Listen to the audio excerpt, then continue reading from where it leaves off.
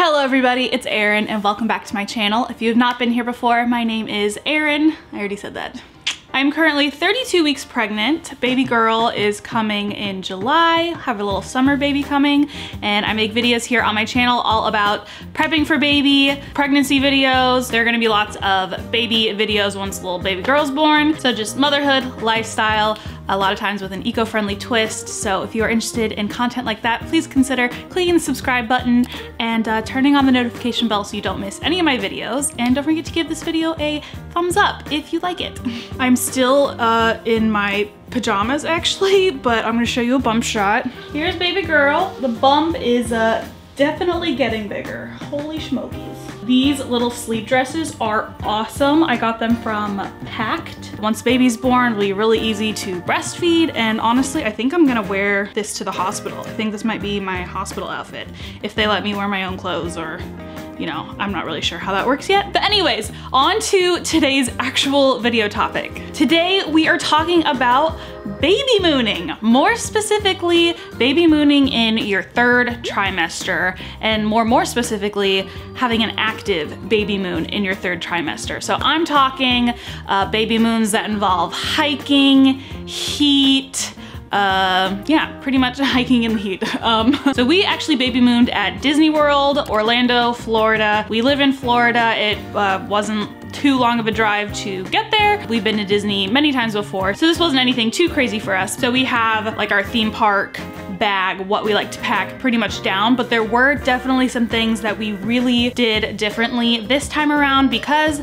I am uh, 32 weeks pregnant. When we were traveling to Disney, I was 30 weeks pregnant, so a couple weeks ago, but still, it was, uh, it was a substantial belly. So I'm not necessarily going to be talking about things that only apply to baby mooning at Disney World. You know, maybe you're going to Hawaii and you wanna do some hikes, or you know, you're traveling abroad and you wanna, you know, you're gonna be doing things all day long and you wanna make sure you're comfortable, you wanna make sure you stay cool, um, you wanna make sure you're able to, you know, do things each day and maybe not necessarily take as many downtime days. Even though um, if you are baby mooning, just know that that is something that you're going to have to uh, go with the flow and really just listen to your body and what your body needs. So if you're planning a jam-packed schedule day after day after day after day, um, you know, our baby moon was only two days long. We just took like a weekend. But if you're baby mooning for like a week, two weeks long, just know you are going to need to take long breaks. I'm talking about like whole day breaks, okay? but yeah, the main focus is really gonna be about what to pack clothes-wise, what other things you can do, some precautions you can take to make sure that you are comfortable in your third trimester on your active baby moon. If you see me looking at my phone, I have my notes here, so that's what I'm looking at. Before we get started, just some general travel tips before you embark on your baby moon in your third trimester or if you're just traveling in your third trimester. Make sure you talk to your doctor first um, because it is later in your pregnancy. You wanna make sure it is okay for you to travel, especially if you're flying on an airplane. This is why we opted to not do anything crazy like that. Another thing is to stay close to home, I would suggest. If you, God forbid, go into preterm labor or something, you want to be close to home and it's just gonna be a lot less stressful. If you are baby mooning in your third trimester, I wouldn't recommend going like out of the country, but that's just me personally and talk to your care provider about what would be best for you. So I have these broken up into some different categories. First, some things I want to make sure you do not forget to do is do not forget that camera or your phone. Make sure you are taking pictures, grab a souvenir. You're going to want to remember this baby moon. That is why even though I did not get a ton of clips of Austin and myself on our baby moon, I did get some clips that I did put together in sort of a haphazard video that you can check out on my channel. I will link it up here if you want to see our baby moon at Disney World. And just letting you guys know, I will link everything that I'm talking about in the description box as well. Now, the next general thing before we jump into the little uh, each category topics is make sure you are bringing a little day bag uh, to carry essentials with you wherever you're going. So if you're going to, for example, Disney World or a theme park, something like that, you're gonna wanna bring a little day bag with you, something that is comfortable. Whenever we go to theme parks or have little day hikes, I always bring my little sling bag. It's like a cross-body bag. So you can carry it in the front like this, or carry it in the back and then when you need it really quickly you just go like this. I love this thing. It's from Everlane. If you're wondering what all this stuff is, this is my bag of goodies that I'm about to talk about.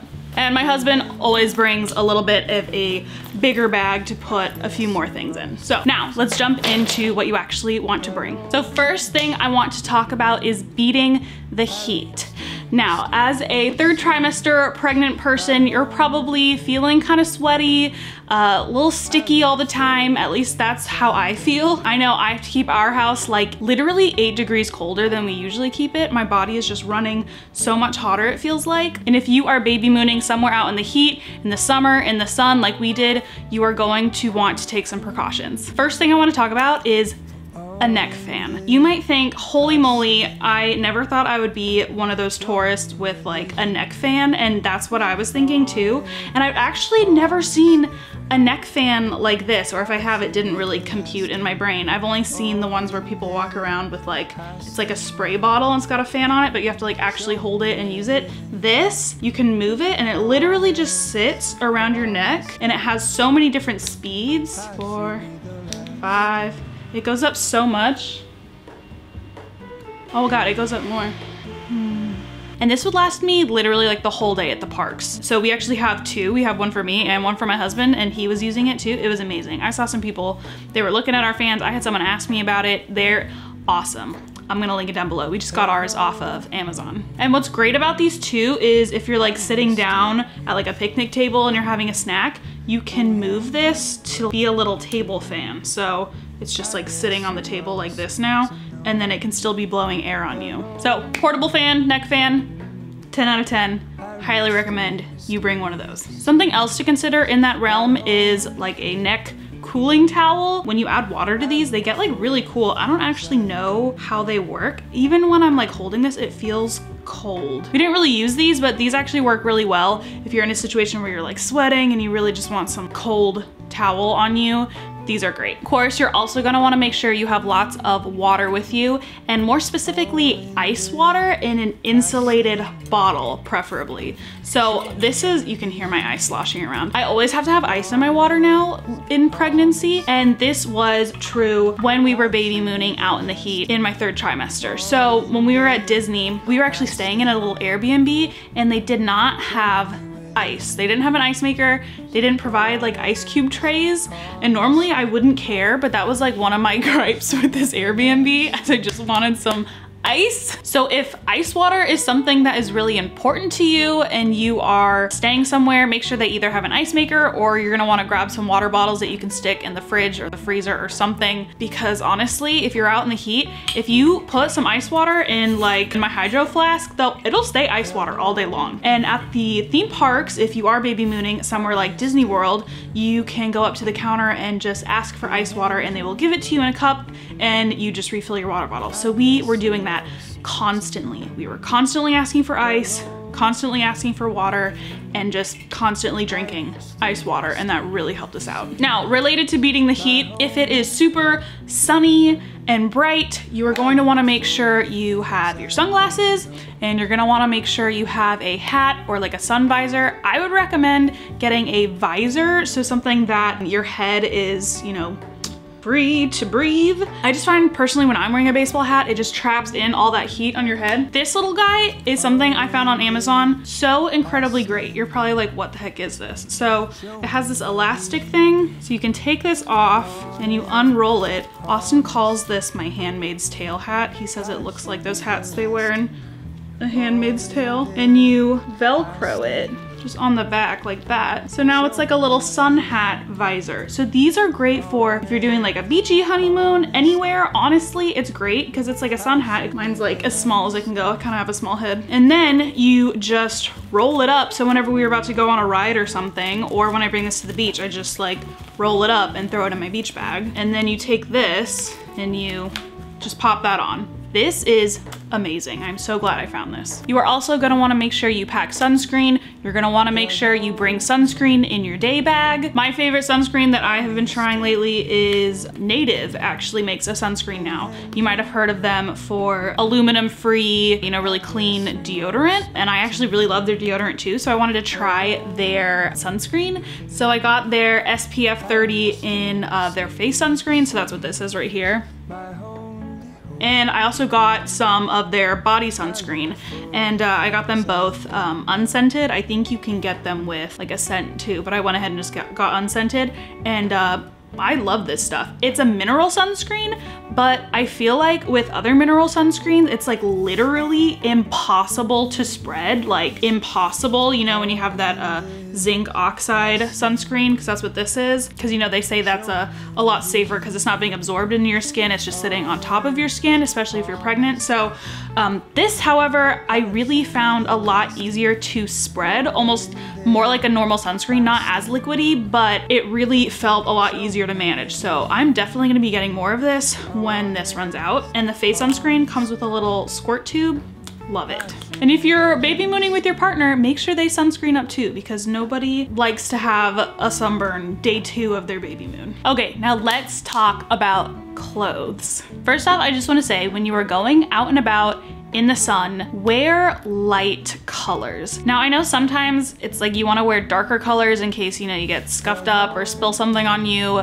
Um, it's a lot harder to see it in like a dark color I feel like, but if it's sunny outside and you're wearing like a black tank top like I was when we went to Epcot, the sun, your clothes will get so much hotter and I could feel it. Like I was telling Austin, I was like, feel my shirt, it feels like it's on fire. So wear lighter colors if you can. Just get yourself some nice, loose, comfy tank tops that'll work for you in maternity and beyond. This, and I also have one in like a navy blue color. I got them off of thredUP, which if you don't know, is just like a big online thrift store. Um, but I think they're from Pink Blush. I don't know if they're strictly a maternity brand, I'm not really sure, but these are great. They just have like a little knot right here and they're nice and stretchy. So they are gonna work for me while I am pregnant and after. So I wore this one the first day when we were at Magic Kingdom and the color was really nice and felt nice and light and wasn't absorbing all of that light and heat. Something I do wanna say, however, though, is I spilt orange Dole Whip all over this shirt near the end of the day. Luckily, it was near the end of the day, but luckily I had brought an extra tank top with me. So another tip is to make sure you pack some extra clothes with you. I always, I always pack extra clothes when we go to theme parks because you just don't know what's gonna happen. You don't know if you're gonna get soaking wet. You don't know if you're gonna spill slushy all over you. No one wants to sit in sticky slushy. This has all happened to me.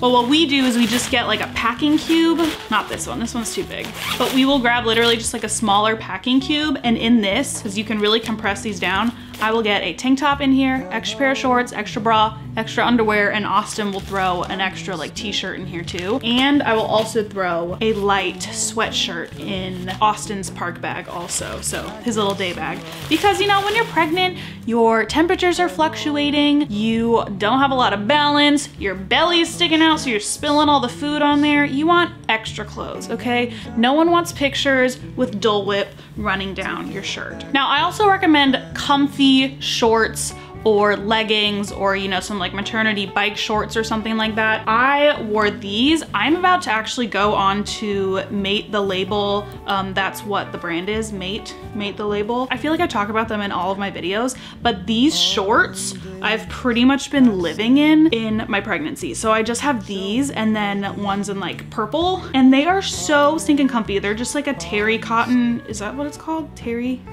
Cloth terry cotton they're just super super comfortable. I wore these my first day and my other pair the second day. But i recommend something like that or like spandexy you know leggings or biker shorts why do i say biker shorts bike shorts i recommend those over something like maternity jean shorts or something like that. I personally don't have any maternity jean shorts, but I feel like it just wouldn't be as comfortable. I know for me, even when I'm not pregnant, I don't recommend wearing jean shorts when I'm out hiking or at a theme park because you sweat and everything kind of just like rubs in between your legs and then it hurts. Uh, so don't really recommend jeans. Now, if you've watched any of my pregnancy update or trimester and review videos, you've heard me talk about these also, and they are period panties. I hate that word, panties. Underwear, undies, whatever. These are from Knix. They are awesome. I just recently bought a bunch more of them, but it's great. Basically wearing underwear with a built-in panty liner, but they're great. I don't know about you, but I'm just leaking all over the place and uh, you know, you're sweating and you don't, it's just, this wicks it away and they're perfect. They're awesome. You're also gonna want some really comfortable bras or sports bras. And this I recently also got from Knix. Oh my goodness. This is the most comfortable bra, sports bra, whatever I have ever worn in my life. Now I have their other like, um, I think it's called their like wing contour bra. I'm actually wearing it right now. A lot of people are like, oh, I like don't feel like I'm wearing anything or I don't mind wearing it. I totally feel myself wearing this and maybe that's because I'm usually not a like bra person at all. This bra from Knix is amazing. I'm gonna find out exactly what bra it is. So it's one of their sport bras. It's just their Luxe Lift pullover bra. I'm gonna get more of these. This is the only one I bought, but it's amazing. It, it feels so comfortable. Like I swear to you, I felt like I was not wearing a bra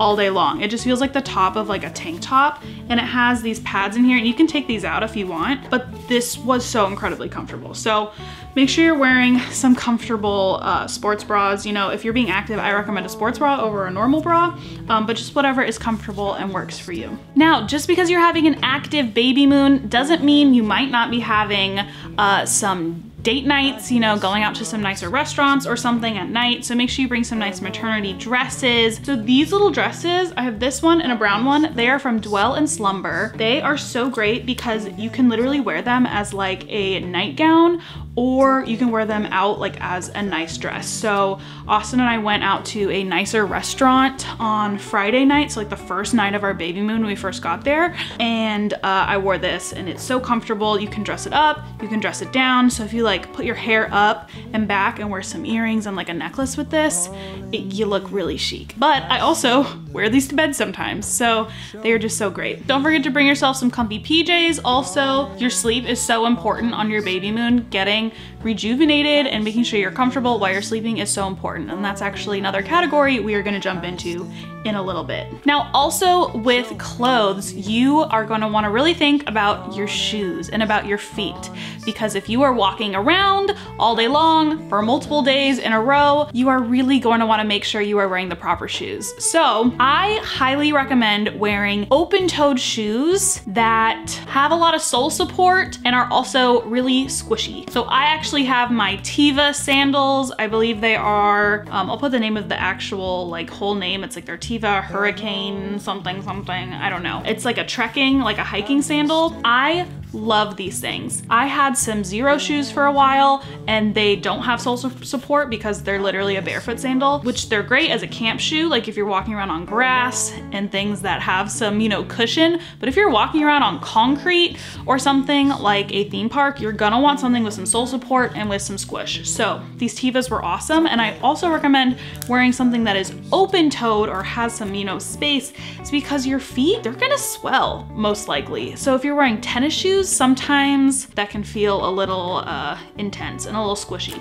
I did not wear tennis shoes at all or sneakers at all on my baby moon. I just went straight for these and I really enjoyed that. Also, if it's hot, I feel like it lets your feet breathe.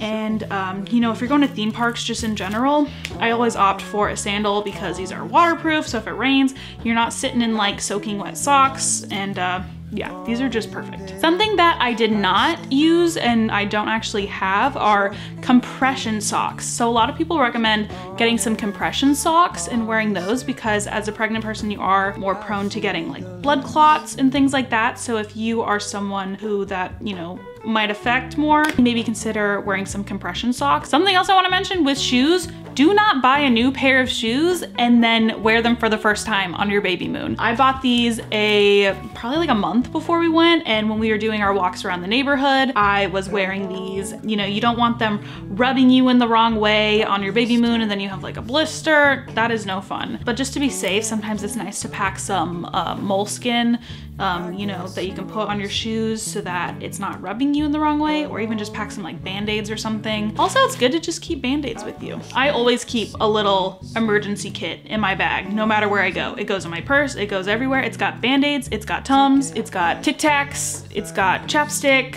uh, contact solution. It is my emergency little pouch. I just put it in like a little pouch like this. It goes with me everywhere.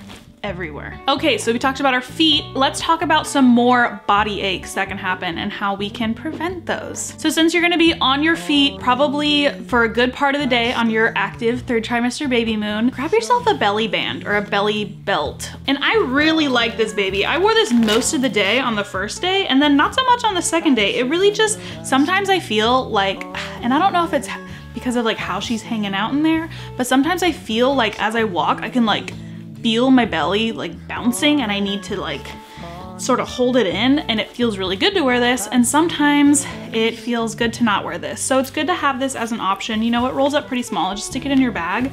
Um, and this can help alleviate a lot of lower back pain that you're feeling also. Now I wore this and I still had a ton of lower back pain, but you know, it can help. So, so with your belly band, if it's feeling kind of uncomfortable against your skin, you can get some of these and it's literally just like, like a piece of fabric. I wore these over like my jeans when I was first starting to get uh, a little bit of a belly and it was still cold outside and I was wearing jeans. I could like wear them unbuttoned and unzipped and I would just put these like over them. They would hold my pants on. But since then I've been using these sometimes if this gets a little itchy, which normally I just wear it like against myself and it's not bad at all. But sometimes you can wear this and then wear the band, but it does to me feel a little bit hotter if I have this and the band and my shirt. So it's really just up to you. Now, as much as you can try and prevent those aches and pains, you know, if you're on your feet all day long and you're in your third trimester, you're just carrying all that extra weight in a weird place and you're gonna probably get backaches. You're gonna get some feet aches. So my biggest recommendation, if you can, at your accommodation, if they have a bathtub, take a warm bath. If you can, just try and wind down at the end of the day. Bring some body lotion or some massage oil. We just used my like pregnancy safe like belly moisturizer that I've been using. I brought some of that with us and Austin, bless his soul, he rubbed my feet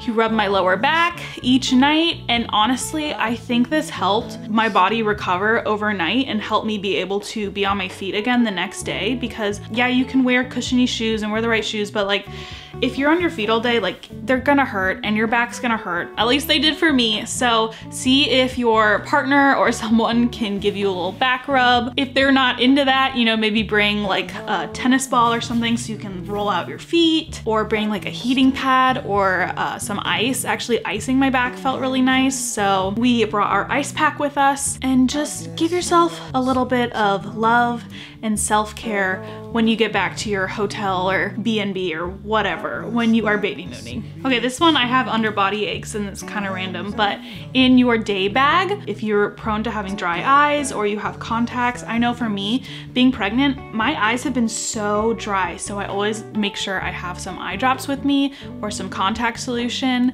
and um, I just thought that was something important to add in there. There's nothing worse than being out and about and just being like, I can't even open my eyes, this sucks. Now, something else that is so important is your sleep, like I was talking about before. Making sure you have enough energy the next day to keep trucking along. So my tips for this is if you can, bring your pregnancy pillow with you. We were luckily just driving, so I brought my pregnancy pillow with me um, and I brought my normal pillow, so I made sure I was having a really nice sleep the whole time we were there. If your partner snores, make sure you bring those earplugs. I always bring earplugs with me. And sometimes if you're just staying somewhere new, you don't really know how thin the walls are. If you're staying at a hotel and someone's screaming next door, I always sleep with earplugs in when we travel, just so I can make sure I get that uninterrupted sleep. Make sure you got your Tums or your antacid by your bed if you are experiencing crazy heartburn at night like I am. And also, if you can, if your schedule allows, just sleep in. Get as much sleep as you can. Normally, we are the type of theme park people,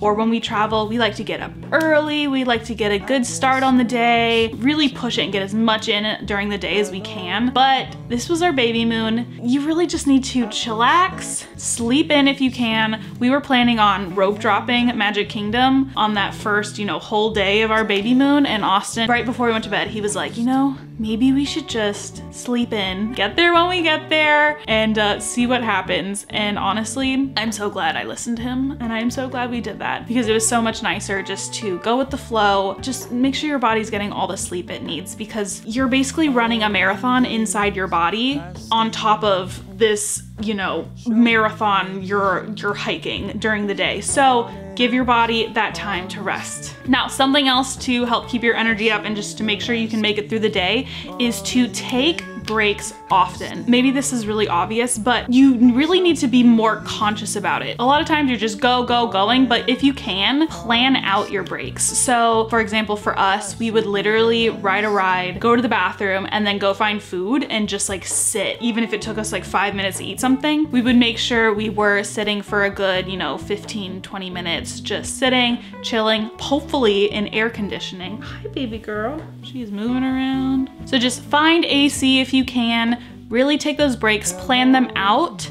Um, a lot of times it's better to plan those out ahead of time. That way you can uh, sort of go with the flow the day of, if that makes sense. So I know for me, like my days, I like to have sort of a loose plan and then go with the flow as the day goes on. But when you plan out that day, don't just plan what you're gonna do, plan in the breaks. And if you are baby mooning for, you know, longer than just a couple of days, plan in those days where you're literally just sitting by the pool or um, taking a day where you're not even leaving the hotel room. You may feel like you're like wasting your time or something, but you're really not because if you have that time to recover and to just relax, you're gonna be able to have such a much more enjoyable time after when you're actually doing things. So something else with taking those breaks, a lot of times it's good to just pack like a little, I don't know what you call this, like a little picnic blanket. It's, this is really thin. It's just like a cloth thing. This has been traveling with me everywhere, but just put a little blanket or cloth like sarong in your bag. And that way,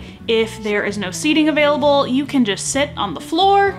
If you're in the woods, sit on the floor. You don't have to get your booty all dirty. These are just great if you need some shade. They can be used for pretty much anything and everything. If you spill something all over yourself, you know, everything. And also with that, with taking your breaks often, you're going to wanna make sure you are eating often. So when you plan in those breaks, make sure you are also planning in getting food. So that was really our main focus on our Disney World baby moon trip is we wanted to just like try new foods that we've never tried at the parks and uh, really just eat everything we could at Epcot. And it worked out really well because when we were eating, we would sit and we would try and find some air conditioning and uh, that really helped us along on our day. And if you're somewhere or you're hiking and you aren't at a place where you can like stop and get food, make sure you are bringing plenty of food and snacks with you. And just for a last category, if COVID is still going on when you are watching this video, make sure you bring your masks and make sure you bring extra masks and maybe some different kinds of masks because sometimes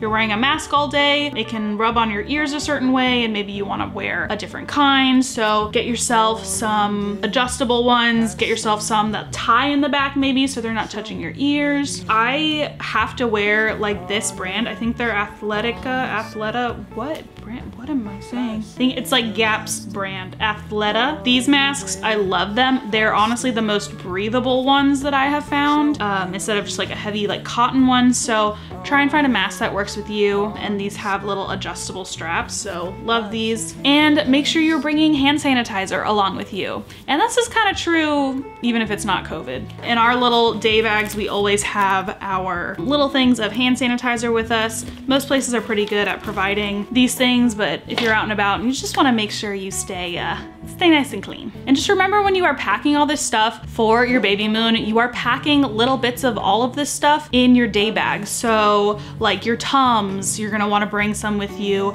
Um, your sunscreen, you're gonna bring some with you. Uh, any medication you have.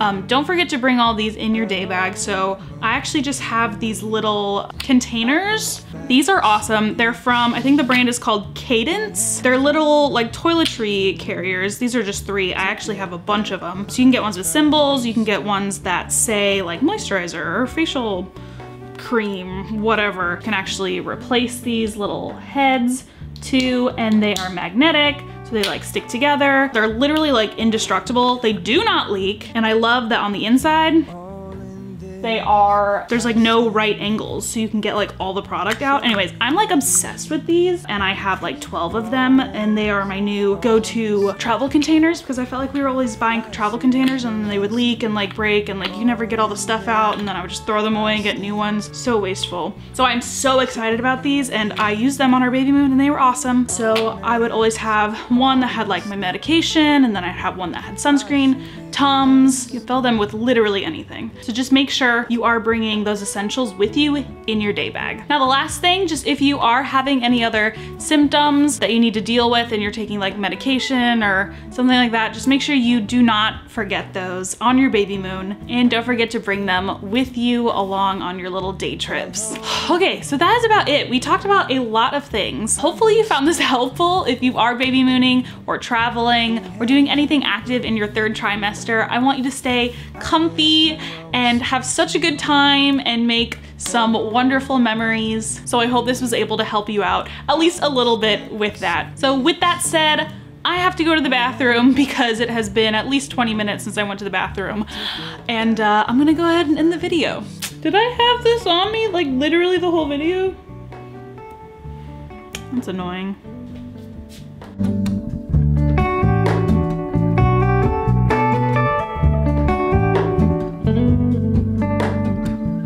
All in this, I stand alone. Show me.